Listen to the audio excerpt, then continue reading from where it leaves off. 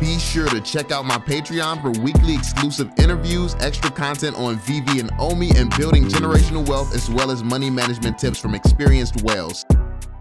Yo, what is going on, y'all? I'm Cavell Anderson, and we are back with another VeVe and Ecomi video. In this one, we're going to be talking about something very, very interesting. So, coming out of the gate of this interview, they start off going over something that's pretty massive to all of our investments because a lot of the whales that I talk to, a lot of the whales that I know, the reason that they aren't buying is because they don't have a way to get their money out. They don't have a way to get funds out of this project. And people have put in a lot of money, like hundreds of thousands, like like hundreds of thousands of their own dollars. Now, some of us have earnings where we've earned certain amounts, but some people have put that in.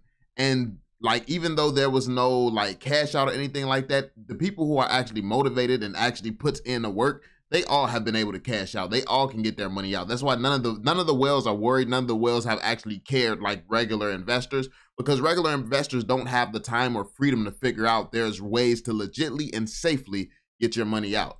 Um like so so the whales, the whales who know this, that's why they've been chilling relaxing the whole time. But after they shut down the ability to transfer collectibles, now they can't do business the same way that they were doing. They can't they can't go to another whale and be like, okay, yo, I, am gonna need you to buy this off me. Let, let's let's negotiate a price. That then they can't go through the negotiations because now you can't send items to each other. So you can't one person can't send money, then the other person can't send the send the collectible. Like so so that literally just basically had their assets stuck in the app for the first time, like like normal people, like everybody else. So um the fact that they're addressing this and in the way that they address it I actually think that this is huge. So yeah, we're gonna jump into this. Be sure to drop that thumbs up, subscribe, and turn on notifications. But yeah, this is a massive deal. This is a big deal. Um, because this is this is what a lot of whales actually want. This is this is what a lot of people who can actually raise the floors of these um collectibles. This is what they care about. So I, I suspect that a lot of them will start coming back in and start making plays and, and doing things on the app after this um after this happens. So yeah, let's jump into it. Let's get it um, when it actually came out, we made uh, a decision to disable transfers of collectibles uh, between accounts as a way to uh, kind of really kind of put the screws to the bots. You want to tell us a little bit more about where we're at in with that process and how we're looking in terms of re-enabling collectible transfers at some point, Dan? Yeah. Um, so, you know, the team has been working very hard on bot protection. Obviously, uh, you know, the community was getting frustrated about it, and obviously, we're also getting frustrated about it. So, um, yeah, very pleased with the progress that the team has made. They've, they've put really a massive dent uh, in the ability for bots to participate in the way that they have been uh, over the past months. And, you know, we've already seen a number of bot programs shut down or and you know some of them have even just run off and disappeared with people's money. And you know i mean this is just as a as a psa you know you're buying a program off someone who is a scammer who is more than likely going to scam you. So just something to keep in mind if you see that that kind of stuff coming up. Um, but yeah overall I'm, I'm, feeling very happy with uh, what we've done on on the bot side of things. And we obviously will still continue to make improvements everywhere we can. Um, in terms of collectible transfers, we will be bringing that back in, um, and that will more than likely come into play when the uh, first phase of the Master Collector program comes out, which we'll touch on a little bit later. See, now that that's massive, like the Master Collectors program. So essentially they're going to be basing it around the people and how active they actually are how active you are how long you've been collecting how long you've been holding the things that you are collecting. So and i think that this is perfect because now it's going to force i mean to be fair it's easy to get around just this but it is an extra step. Now but I, like um something that is common is is what's called bot farms. And basically that's that's these people who literally it's their job to get accounts in the perfect condition for someone to use it and with a bot. Like that's that's literally what they do all day. So one account, if you need X amount of requirements in order to for it to be seen as a legit account and you can actually use it as a bot, their job is to sit around, make this account meet those requirements. Okay, now that, that account is ready to sell.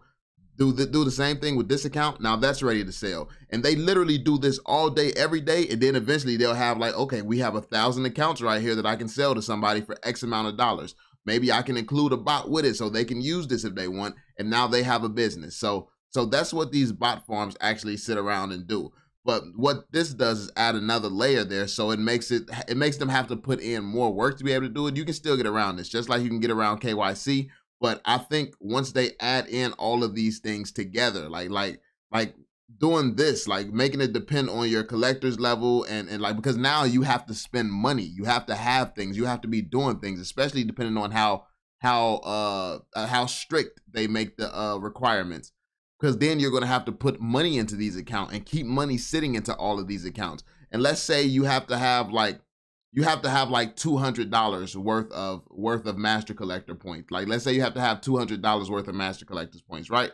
So now you have to put two hundred dollars in every single account. So you have two options. Either you have enough money where you can literally make a bunch of accounts and leave two hundred dollars sitting in each of them, or you don't have that type of money and now you have to use the same two hundred. So you put two hundred in this account, let it sit, then put 200 put that same 200 in the next one let it sit. So now either way it it, it causes a hassle. It, it create yeah it's a hassle for um people who would want to do these bot farms and stuff like that. So and that's just one line of defense. They also have the other stuff that they're doing. So this is really good it's really smart and that's going to be really impactful for the future of VeVe especially when it comes down to handling the bots. So th- th- this was a smart decision for that reason in my opinion. But yeah. Um, for the reason being is that you know, the Master Collector program really identifies who are the, you know, a, a legitimate user who holds collectibles, who collects sets, participates in the app, and therefore, you know, we can determine that they're a fairly legitimate user. Um, and at that point, uh, uh if you are at a certain level or a certain rank, you'll have features like collectible transfers, um, uh, re-enabled. But in the meantime, obviously, people can still continue to to buy and sell through the through the VeVe secondary market. In my opinion, they should limit transfers based on activity. So not just go about it where the master collectors like points, like once you reach a certain threshold, you just have access to the feature. They should upload. They should have limits. So if you're in a certain level, you can only transfer like one or two items then if you level up more to where, okay, this guy really has to be collecting, you unlock a little bit more. And then the top tier where you unlock the full capability to just transfer whenever you want. And maybe the top tier is like uh, a thousand dollars or something, a thousand dollars worth of assets, or maybe even higher. I feel like I feel like if you are investing in VeVe, but that's common for us because we are all so early. Regardless of like you in right now who thinks that you're struggling, who thinks that you're late, who thinks that there's no opportunity, you're in early too. Like it, it's easy for anyone here right now to get a limit of a thousand dollars. It just is if you make the proper decisions. You might not have the education to, but it is easy for anyone, absolutely anyone. So I mean, a threshold like that would be would be easy to meet. Like maybe maybe like ten thousand would be more reasonable there, because I think I think that that's also easy for anyone as well. Like you can start with very little and do that on VeVe. You just have to know what you're doing.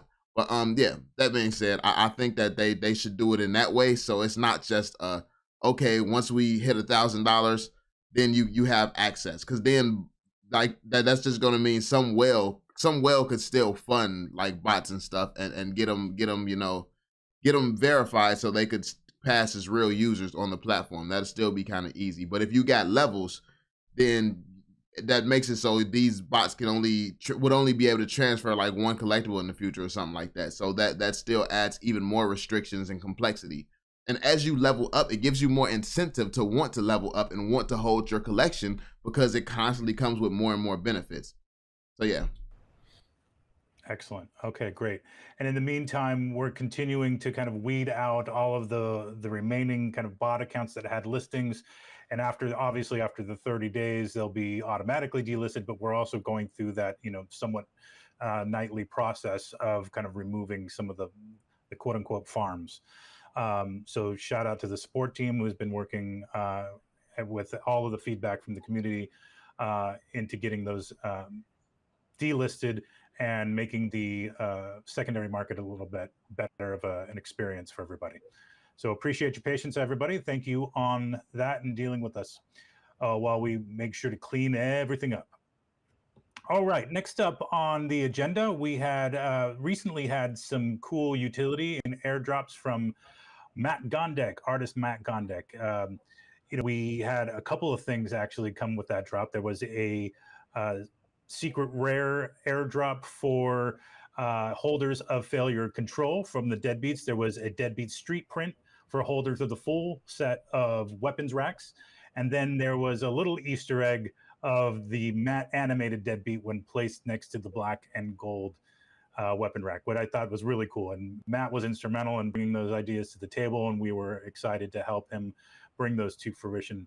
Uh, David, do you want to talk to us a little bit about our kind of general gifting and utility philosophy, and um, if we might be able to see some of those types of things uh, with artists moving forward?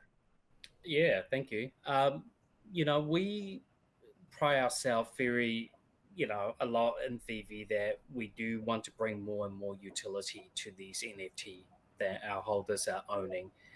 The whole idea is to reward you know holders with surprises. You know what else will these nft do outside when you first own these and using the ar function? Um, so we do work closely to curate programs. Um, you know and i think we have done that with a couple of the Pry, um, the rewind collectives uh, this month some couple of them have now the initial two that came out cleopatra amelia uh, have now turned into utility that, that with the moving video. Um, and just going back, we are going to continue to work with each individual artist to come up with new creative ideas. And Matt has really demonstrated, you know, another different level of utility. Rather than just selling it, he's giving it to the fans who, mm-hmm. you know, he want to um, give everyone have something uh, apart from the first what they own. Great. Yeah. And then, you know, utility doesn't stop there with not only, as you mentioned, collectible upgrades in the case of Rewind Collective, but um, ideas about, you know, animation when placed next to another collectible or even just airdrops as Matt Gondek did, but also moving into things um, more like we did with Golden Moments, for instance, where we had, uh, you know, Disney Plus subscriptions or upcoming, we've talked about it a lot, promo codes uh, in enabling some of those types of things to enable new marketing programs with our licensing partners, et cetera, or even possibly in-person events. Um, is there anything that you're looking uh, particularly forward to in terms of uh, the promo code functionality without giving any uh, hard details away? Yeah, I, I think with the month of May and June, we'll see a lot more NFT that we're releasing uh, with our partners that will have a lot more utility built behind it. And so that's big. We're going to be seeing a lot of utility coming in the up the upcoming two months. I mean, so hopefully they keep this timeline. but yeah, um, so yeah, I mean, I, I would assume that it's going to be coming within the next four four months at this point, to be honest with you.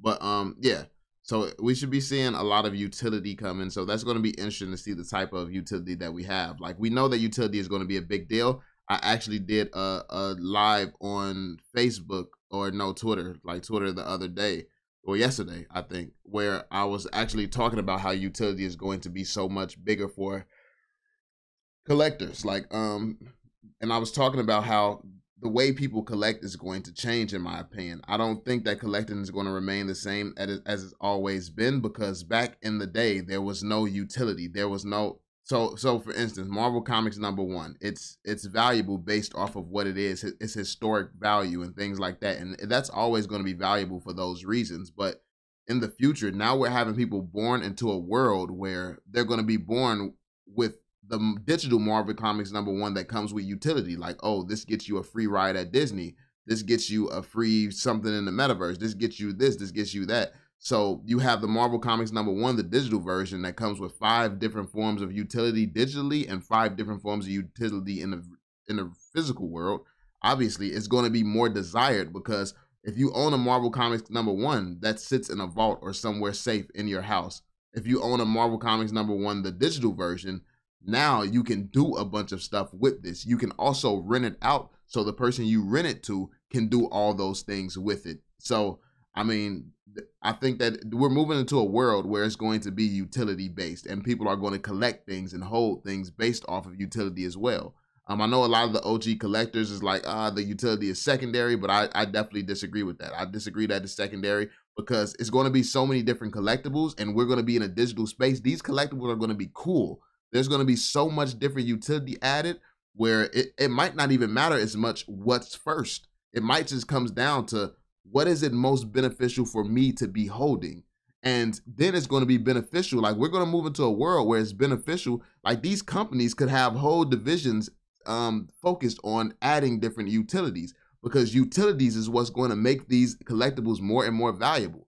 Like the second that Disney says you hold in Marvel Comics number one, you get a free Disney movie every single year. Okay, that's a little utility. What what how much would you pay for something like that? What's that worth? Now you get a free you get a free day or, or free three days at Disney Disney World. Now how much would you pay for that Marvel Comics number one? You get a free week at Disney World. You can do anything you want in the theme park for a week. Now how much would you pay for Marvel Comics number one? Now you get a, you're you're a part of that special memberships club at Disney at, at, at Disney World. Now how much would you pay? So you see where I'm going with this? It's like they can continue building and building and building utility that will really continue to raise the floor of what people are willing to pay for these collectibles. And I believe that that's the world that we're moving towards. And that's basically what I was talking about in the Twitter space. Because if they if they do start having whole divisions dedicated to adding a bunch, you can't do that with a physical comic. Now the physicals are still going to be very valuable, but they're going to become like antiques. It's going to become like almost like it's almost it's already that kind of, but it's going to be like they're all like almost museum type pieces. Like you can't do nothing with a dinosaur fossil fossil either, but it's still very valuable because of what it is. So it's like I think that comics is going to be like that. Like comics and, and, and a lot of the stuff that you collect now is going to be like that as we move into a world where utility becomes king and it really becomes king. Because DC has their licensing stuff so many places, we have to assume like ho- hopefully Disney stays with VeVe only as long as possible, but we have to assume that these other brands are going to do the same, which means if everybody has all these different IPs, what's going to stand out about them is the type of deals you can secure for the utility based around them. And when it comes to doing deals with licensors, I still, I still 100% stand behind VeVe. Like they're the only ones proven to be able to do something at this scale. So yeah, some other projects may get some cool deals with some of these IP, but I, I trust VeVe to get the best deals. And that's why I still like VeVe is king. I'm bullish about that because even if we move to a future utility, I think that VeVe is in the best spot to win. So yeah, that's just my opinion though.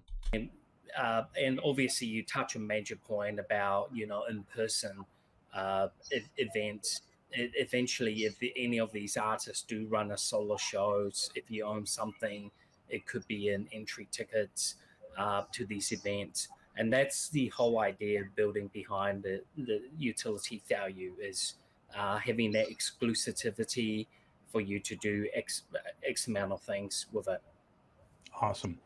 And uh, I'm just going to skip ahead quickly as as we mentioned, um, you know, in-person events. All right, Joe. So we're going to end it here, man. Um, let me know what you all think in the comment section down below. I would definitely love to hear more opinions about my thoughts on utility and how massive I think it is. Um, I think it only it, it just it makes sense to me. Now I do want to hear some counter arguments. I do want to hear some different perspectives and thoughts on the topic. Um, but yeah, I, I think that we're we're born into a world like because you have to think. I, I made an example yesterday as well that even games are now having extra added utility. I mean, uh, uh, the whole point of a game is to play it and have fun playing it, and they're adding utility to that. So just having a stale collectible that you can look at and augment into reality, that's going to get boring. Like the world is moving too far advanced for for just having something like a comic book, just being able to read it. I mean, the world is moving too far advanced for that to last long with a video game, now you can make money. So the utility is this video game that you're playing pays you for playing it. It pays you for your time. So now with that type of utility added to gaming, you think that they're gonna just have a collectible that you can just put in AR and that's the that's the biggest utility. That's like no, like now these things are gonna have to come with multiple different forms of utility, and that's the future for digital collectibles. Um, so yeah, let me know y'all thoughts in the comment section down below, man. I definitely would uh, love to hear some opinions on this. In my in my opinion, this is the route that we're going. This is the direction that the entire world is moving to. This is not just the VeVe thing. I think that all and th- this is going to be all NFTs. Um, but yeah, that's just my thought. Let me know what you all think. Be sure to drop that thumbs up, subscribe, and turn on notifications, and I will catch you all in the next one. Peace out, y'all.